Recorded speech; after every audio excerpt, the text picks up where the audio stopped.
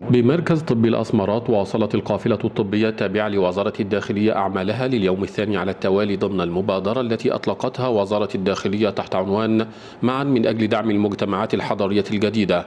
أطباء القافلة قاموا بالكشف الطبي على المواطنين الذين ازدحموا في أروقة المركز بهدف إجراء الفحوصات اللازمة في ظل كشف وأدوية بالمجان. بنستكمل الأعمال اللي بدأناها امبارح. بالتخصصات المختلفة اللي موجودة. بعدد تقريبا 14 طبيب في التخصصات المختلفة بالإضافة للمعامل والأسنان والفحوص الكاملة. آه، بالإضافة أن إحنا بندي العلاج كامل كأدوية. للمترددين من المواطنين في حي الأسمرات.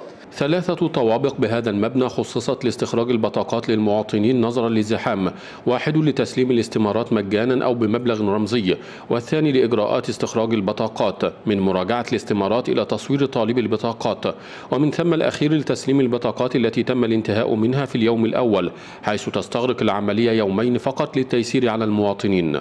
اللي خلص امبارح حضرتك استلم بتاعته النهارده بدينا النهارده الساعة 8 وحضرتك شاف الإقبال في تسهيلات بتقدمها قطاع الأحوال المدنية من خلال الاستمارة في استمارة مستعجلة بتاخد اللي هي 105 بنبيعها من خلال المجلس القومي للأمومة وب 30 جنيه. بنطلعها بعدها في خلال 24 ساعة بتبقى البطاقة خلصانة ومستلمها المواطن آه، في خلال 24 ساعة.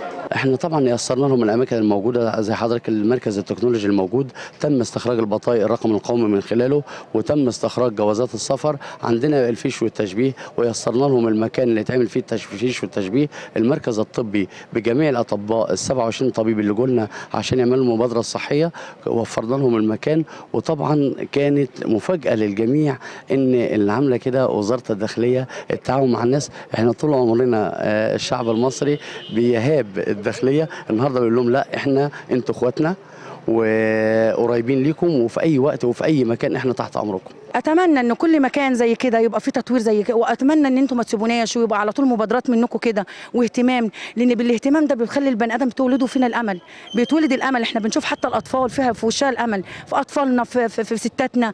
إحنا بقينا تعالى بص حضرتك من سنة ونص كنا جايين المكان ده عاملين إيه؟ تعالى بص النهارده.